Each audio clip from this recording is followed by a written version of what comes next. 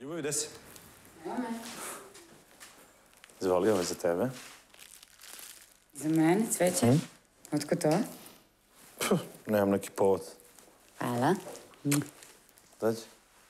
Volim te. Kako lepo mirišeš, šta je to? Ne znam, mislim, tako Super ti ovo stoji. Super ti stoji. Mnogo si lepa. Hvala. Šta si ovo kovala? Ovo neko ludilo. Ja. Sarma u vinovoj lozi. Top. Ko je, kako se zove, kada i gde ste se upoznali, koliko traje i da li je voliš. Ne razumijem. Sve hoću da znam. Šta pitaš, Branđane?